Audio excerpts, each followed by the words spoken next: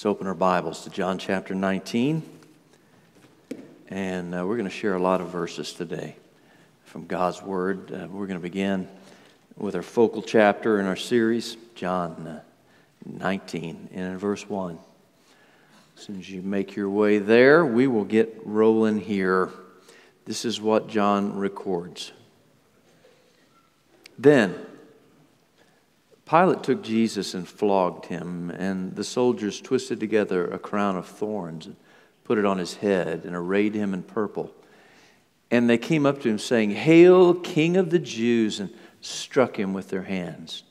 Pilate went out again and said to them, See, I'm bringing him out to you that you may know that I find no guilt in him. So Jesus came out wearing the crown of thorns and purple robe. Pilate said to them, Behold the man. When the chief priests and the officers saw him, they cried out, Crucify him! Crucify him! Pilate said to them, Take him yourselves and crucify him, for I find no guilt in him. Now move down to verse 16. So they delivered him over to be crucified, and they took Jesus, and he went out bearing his own cross to the place of the skull, which in Aramaic is called Golgotha. There they crucified him, and with him two others, one on either side, and Jesus in between them. Pilate also wrote an inscription and put it on the cross. It read, Jesus of Nazareth, the King of the Jews. Billy Graham, I wanted to give you that quote. Billy Graham says God proved his love on the cross. When Christ hung and bled and died, it was God saying to the world, I love you. I don't know what you think of when you see a cross, but that's the message that we have from the cross of Christ. The cross is the focal point of all of history. Everything hangs on, on the cross, everything in the cross. The Christian faith has what no other religion has. Uh, no one else has a suffering Savior who died on a cross. A lot of other religions, philosophies have great teachers. They have famous martyrs who laid down their lives. But only biblical Christianity has a cross. Only Christianity has a salvation plan so unique. Every other religion of the world, and this includes many who call themselves Christians, but they still follow the self improvement plan, or their symbol uh, really shouldn't be a cross, it should be a ladder. It, it's trying to climb up to impress God, to please God. And if I can do enough good things, enough religious things, and climb high enough on the ladder, somehow that will overcome my sin and, and, and everything's going to be good between me and God. Only biblical Christianity has a cross. And instead of trying to climb up to Him, it's a story of God coming down to us and, and living among us and Him paying the price for sin at the cross. That, that our eternal life and forgiveness of sin and relationship to God would not be based on what we do, but it's all based on what Jesus has done. And that makes what we do here different than most places. The people of the world, world religions, have long despised the cross. The Bible says that people would misunderstand it, despise it, hate it, disregard it, stumble over it. The Jews of Jesus' day just couldn't imagine a Messiah, uh, the Messiah coming and dying. Messiahs don't die. The Romans saw a dying God as weak, below their uh, worth, their allegiance. Gods are not murdered by martyrs, by, by, by mortals. Islam uh, rejects the cross of Christ, saying it's inappropriate that God's prophet would surrender his life to such an end. Gandhi, the great Hindu leader, couldn't bring himself to accept Jesus as more than a teacher or a martyr. It's no different today. How, how can something so despised and rejected, this instrument of execution, a suffering Savior, be the, be the axis that the whole world turns on? To understand the cross is to understand God. To stare at the cross is to get the clearest, deepest look into the heart of God. uh, the, the hymn writer, we've sang, we've sung about the cross all morning today. That's when I survey the wondrous cross. It's when I consider the cross, when I look at what Jesus did for me at the cross, what do you see? What do you sense? What do you feel? What does God say to you from the cross? Now, we have this cross. One of the things you learn about crosses when you study the ancient world is there are a lot of different kinds of crosses. Sometimes you see the really tall cross, which would have been unusual because it was complicated. Crucifixion, the Romans were of all things efficient, and a really tall cross is inefficient.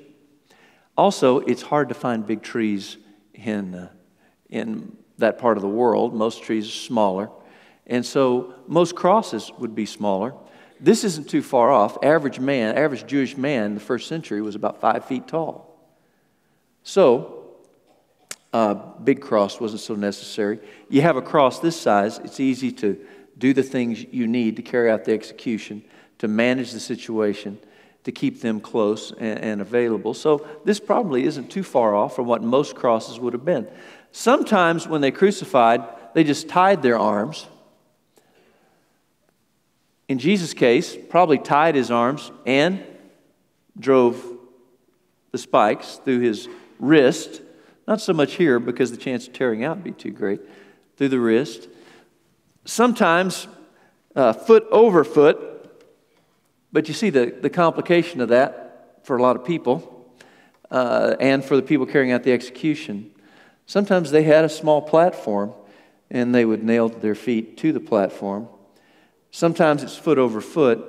In the Israeli Museum in Jerusalem, there is uh, an ankle bone that they found a few years ago, and uh, it shows they put the foot on the outside of the cross and nailed it through the ankle bone to attach it to the cross.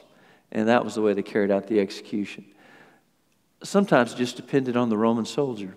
It depended on what they had available, depended on their preference for carrying it out. Uh, and uh, they found plenty of creative ways to carry out the execution of people at crosses. At the cross, what we find is a definition of God's love for us, an example of love He has set. And what we're going to do today is we're going to walk through seven things that Jesus said from the cross the, the closer to the ground, not quite so extensive cross. You know, see 10 foot crosses in artistic drawings. Um, most crosses were going to be a lot closer to the ground. When Jesus spoke from the cross, it wasn't complicated for the people who were around at the execution to hear every word he said. Uh, he was available to them close by, and that's why the words are recorded. Some of these are in John chapter 19, some of them are in other places in God's Word. Seven times Jesus spoke from the cross, and we want to look at the seven things he said. And the seven things he said are such a powerful demonstration of his love for us. Here is love's first word. Luke 23, Jesus said, Father, forgive them, for they know not what they do. Here's something you may not have ever realized about that statement Father, forgive them, for they know not what they do. Uh, Jesus said is a verb tense, it's an imperfect verb tense, is what it's called, and doesn't mean it's not, it's not good. It, it, it talks about he said it, and then he said it again, and then he said it again, and then he said it again. So, the soldiers take him to the place of execution. Father, forgive them. They throw him to the ground, tie his arms to the crossbar of the cross. Father, forgive them. They nail his hands and feet to the cross. Father, forgive them. They raise the cross and drop it into its hole. Father, forgive them. They taunt him and they mock him as he hangs on the cross. Father, forgive them. The soldiers gamble for his clothes. Father, forgive them. The disciples still running. Father, forgive them. We don't know how many times he said that prayer, but we know he said it more than once because of the word that is used in these words Father, forgive them, reveal the heart of Christ. Jesus died on the cross that we might have forgiveness of sin. And this is so core to his character. His love and his grace uh, shine in this prayer he prayed from the cross. If on that day, on that occasion, on a Friday, on the cross, Jesus could pray that prayer, I just have to think he has a little room for forgiveness for me too. And he has room for forgiving each one of you. Uh, there is room at the cross to find forgiveness. In this prayer, you see the example of Jesus. He loved even his enemies. He prayed uh, for those who persecuted him. He, and he practiced what he taught. Remember what he taught? Love your enemies and pray for those who persecute you. He said in the Sermon on the Mount.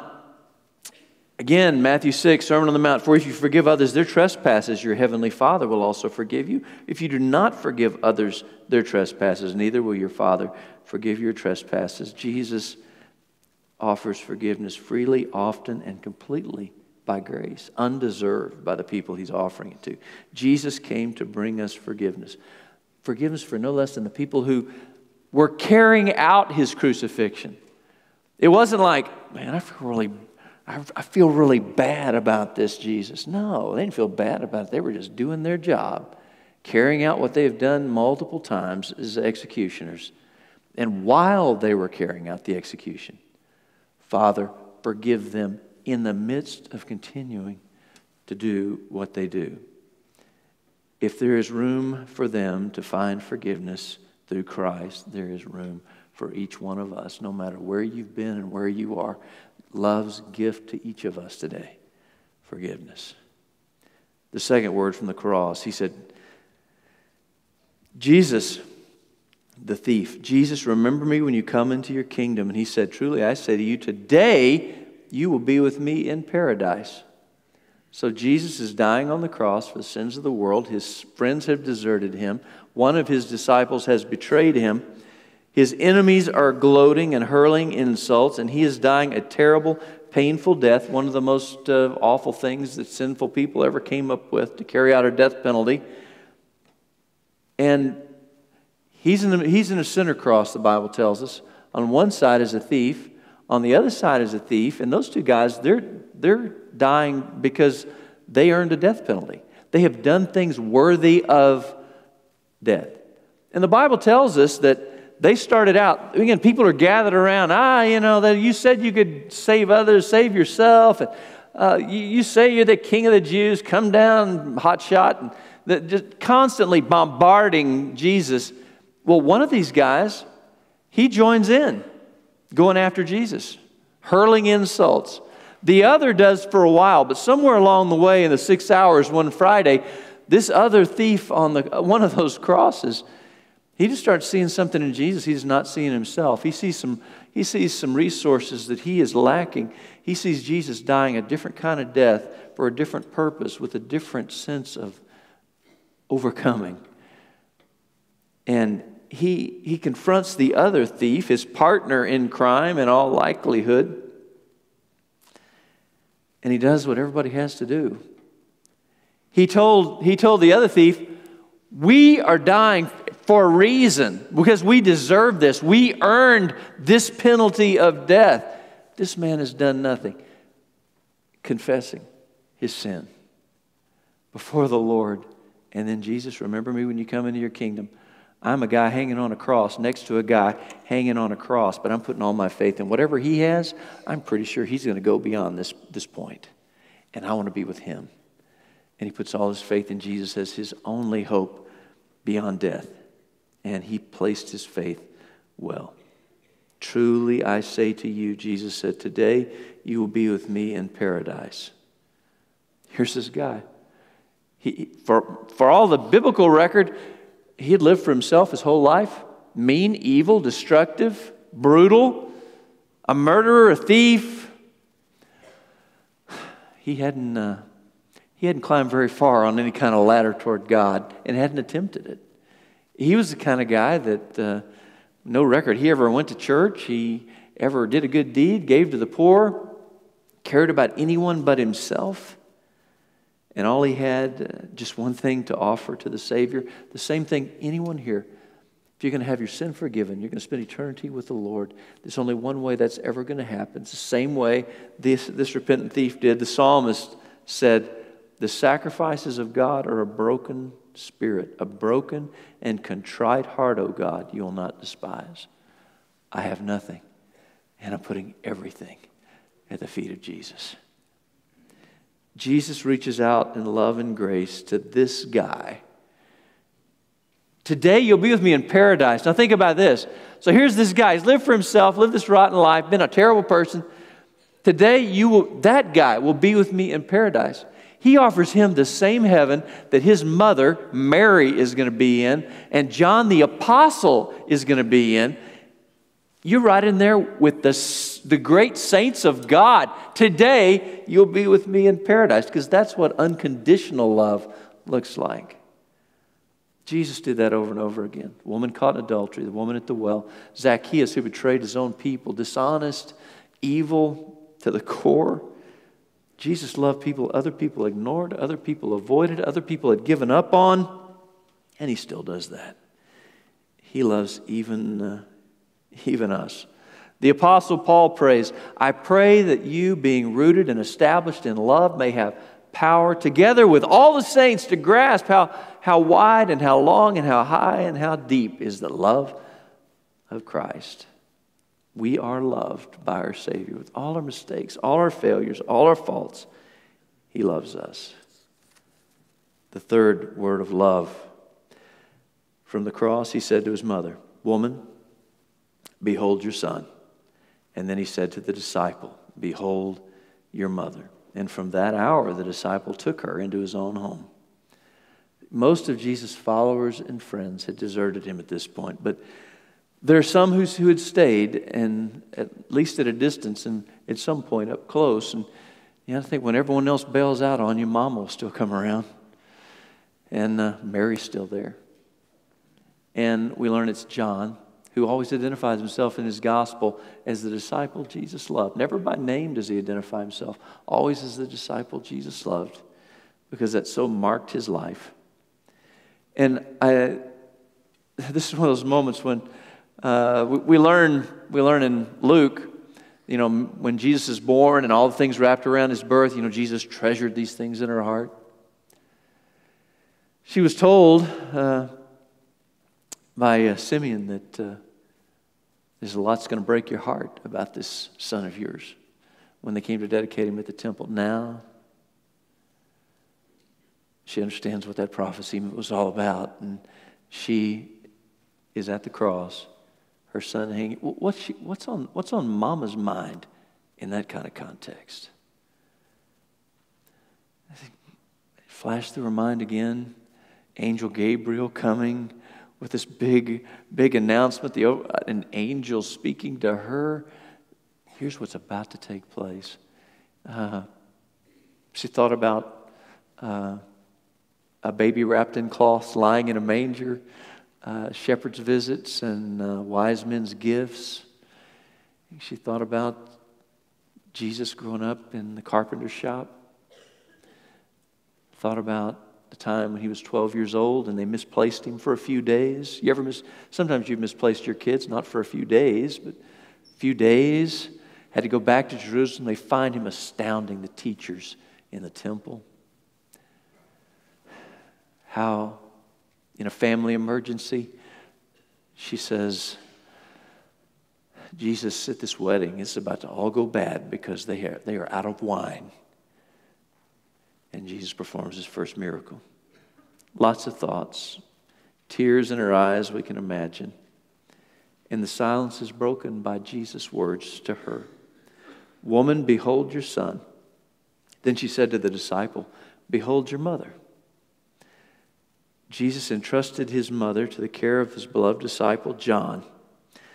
Now, one, and that's all we know about that story. We see both of them showing up in the upper room in the book of Acts, but we don't know much about this. There are traditions that say uh, she lived for 11 more years in Jerusalem, and John stayed there with her and cared for her for those 11 years. Another tradition says John, when he transitioned his ministry to Ephesus, he took Mary with him, and she, is, uh, she died in Ephesus and is buried there. If you're in the tourist business, you want uh, to have uh, rights to that grave, and two different groups of people are selling tickets today. In this act of love, Jesus again shows his faithfulness to the Bible's teaching. He fulfilled his obligations. He's going to care for his mother in caring for the sins of the whole world. Honor your father and mother, uh, the commandment says. Paul wrote to Timothy If anyone does not provide for his own relatives, and especially for members of his household, he's denied the faith and is worse than an unbeliever.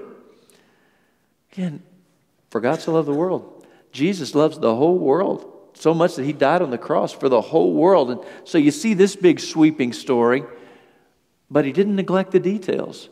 He said, Yeah, this is important, but, but all of it's important. And he didn't step away from doing all of it and fulfilling it completely and accomplishing everything that God called him to do, that God calls us to do. He's not just, and I love this part, woman, behold your son. You're, I'm entrusting you to John's care now. John, behold your mother. Woman. Now, not many of you ever address your mother as woman. Woman? And get away with it. That's not going to go well for you, children. Uh, those of you who are in your 50s, 60s, and you say that to mom, it's not going to go well for you. But it's, it's a term in this culture of respect. But here, here's where everything is shifted. He's not just her son, he's her Savior too. And their relationship is going to be different uh, and so much more blessed than she could ever imagine. The fourth word of love. And about the ninth hour, Jesus cried out with a loud voice, saying, Eli, Eli, lema sabachthani. That is, my God, my God, why have you forsaken me? That's that question, that prayer, uh, stirs up a lot of, lot of questions for a lot of people. What exactly is going on here? Jesus asked plenty of questions all through the Gospels. And you'll notice when Jesus asks questions, seems like most of the time they don't understand what he's saying. They, they don't understand where the, where the line of question is going. They're, they're trying to figure him out. Uh, lot, lots of mystery wrapped around Jesus, and this is no exception to that rule. They're trying to figure out what in the world is he talking about? They, I think he's calling for Elijah because, like many of us, when God speaks to us, we're uh, paying about half attention. Jesus, often misunderstood by his friends, his enemies alike. And now at the cross, it looks like, well, this is the end. Greatest defeat. Actually, it's the greatest victory. Looks like all is lost. Actually, all is won. And his cry to the sin burden he carried, that is that the, our Trinitarian God, Father, Son, and Holy Spirit, God expressing himself in his fullness for the first time, Father and Son. The Father turns away from the Son because he's carrying the sins of the whole world on himself.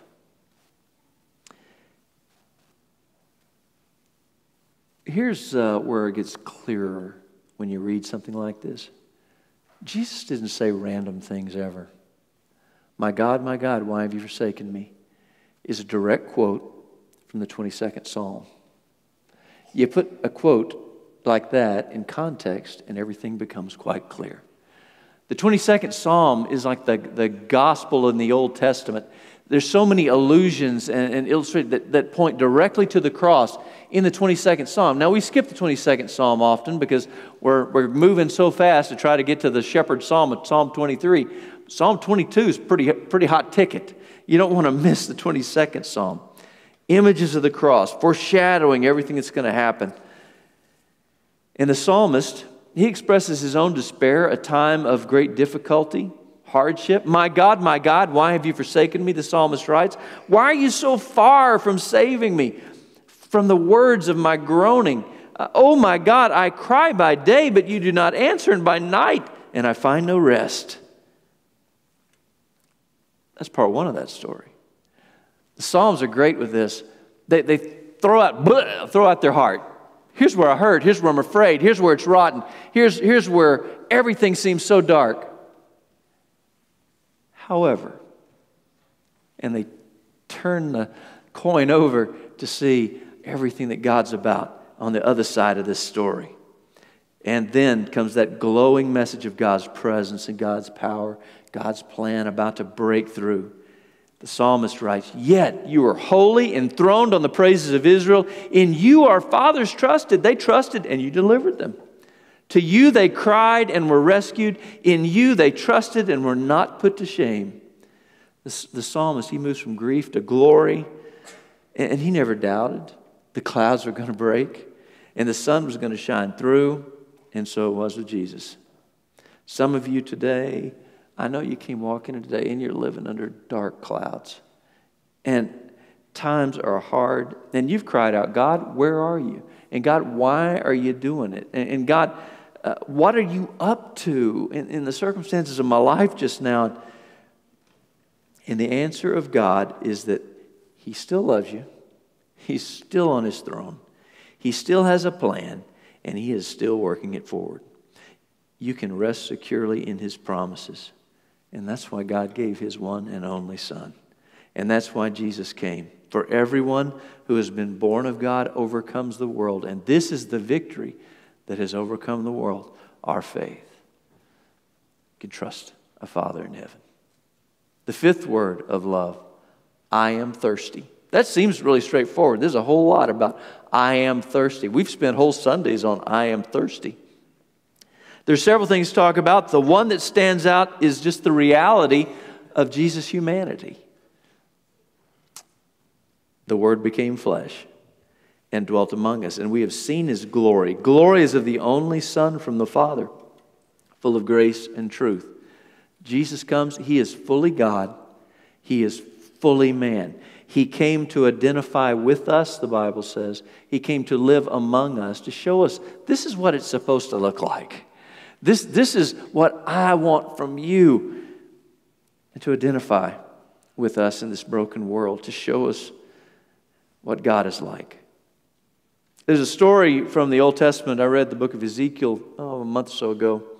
Ezekiel came to live among exiles, and they were so broken. They're away from, taken away from their home. Everything they have known is far, far away. And they hear terrible stories about what's happening back in Jerusalem, and they're, they're so sad. And so Ezekiel says, I came to the exiles of Tel Abib, who were dwelling by the Chebar Canal, and I sat where they were dwelling, and I sat there overwhelmed among them seven days.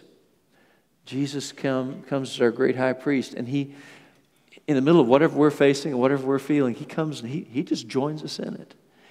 There's the story of the Word becoming flesh, the, whole, the eternal Word of God coming to us and taking on a human body is a story about Jesus just demonstrating God is coming close. The Bible says we do not have a high priest who is unable to sympathize with our weaknesses, but one who in every respect has been tempted as we are, yet without sin. Jesus came to be among us. I thirst reminds us. The God of heaven came down to become one of us, and his love is personal. He is not God far off out there somewhere, not God far away at a distance. He is God up close, and God so personal and so real. The angel told Joseph, Behold, the virgin shall conceive and bear a son, and they shall call his name Emmanuel. And the gospel writers define that because some of their readers won't understand. Emmanuel means God with us. The sixth word, it is finished. Our lives are overshadowed. I feel this every day. There's this terrible sense of uh, incompletion. I get to the end of my day, and there's never a day when I get to the end of my day and say, everything I wanted to get done today got done. At work, at home, relationally, spiritually, I got everything squared away. It is, I, uh, it's like surfing the internet saying, I got to the end. You just never get to the end. We have a strong sense of incomplete. Think about this a great warrior, leader of God's people, uh, Joshua. He, he, he leads the conquest of the promised land, and he accomplishes so much. And that, that terrible verse in uh, Joshua 13 1, uh, where God tells him, You are old and advanced in years, which is always great. I always think about that. Okay, you know, when the Ancient of Days says you're old and advanced in years, you've crossed some sort of line. You're old and advanced in years, and there remains so much of the land to be conquered, so much of the land, yet not, not taken. And then Joshua, you know, he followed Moses. Here's Moses, the great lawgiver. He leads the Exodus, uh, who's who guy of the Old Testament, every imaginable way. So, Moses, superstar, what happens? Well, Moses, Moses doesn't get to enter the promised land. He doesn't get to come into the land of promise. You sh- God tells him, You shall not go over this Jordan. But then we have Jesus. And it's not that way with Jesus. With a sense of achievement, Jesus, Jesus I remember he prayed, John 17, we had the high priestly prayer. I glorified you on earth, he says to the Father, having accomplished the work that you gave me to do. And then it's finished. It's finished. What was finished? Well, here's this life. It began in humility in a manger in Bethlehem, continues in obscurity of Nazareth, emerged three days later with a teaching, healing, miracle working ministry. And it concludes here with the betrayal, arrest, trials, beatings, and the cross. And the crowd calls out, Come down from the cross and then we'll believe. We believe because he did not come down from the cross, because he stayed until it was finished.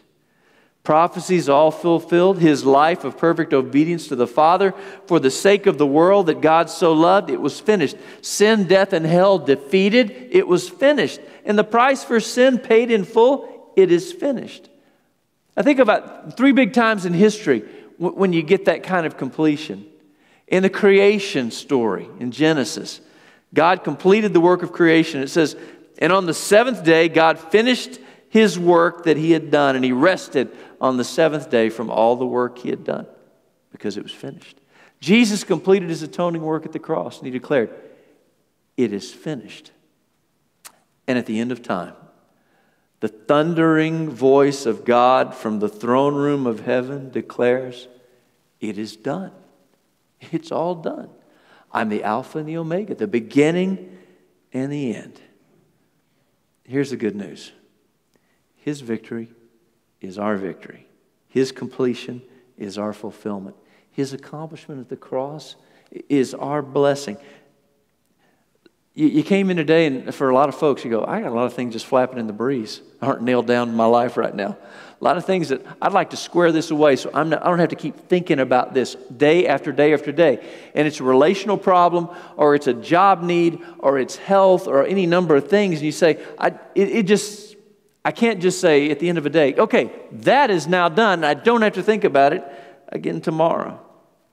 Things uncertain, things unsure in life but through Christ, just know this on the Labor Day weekend, God's love has it all nailed down because of the cross and the resurrection and the promised second coming of our Savior.